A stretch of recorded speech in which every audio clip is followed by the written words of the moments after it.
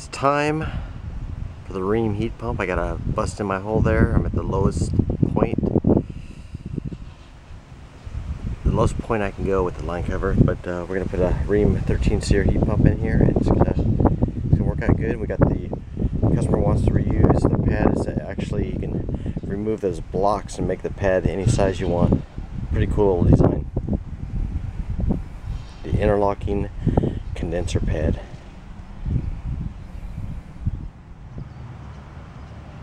The condenser is mounted on the slab. I've got the line cover on.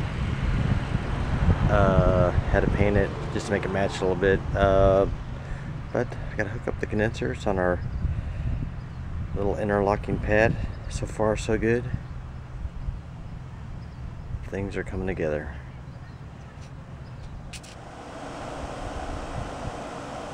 Here's a three ton heat pump running in heat mode. Everything is uh, worked out.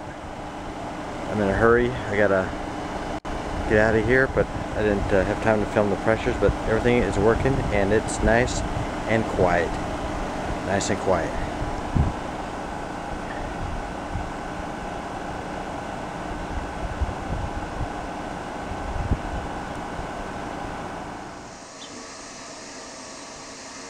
Taking this unit out, this is an, uh, an old BDP 567 5 ton. 567 5 ton. Probably 1982 or 81.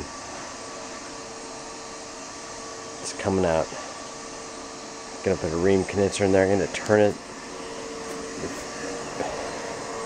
tight quarters here, but I'm going to turn it and put the uh, all the controls on this side because they have um, animals and they I just took the shroud out from around the unit so the dogs like to chew everything so I'm going to make it a little bit different.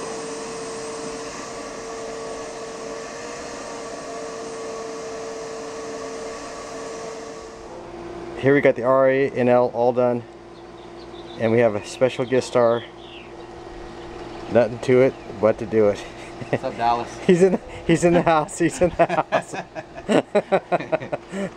but it's all done. Ain't nothing to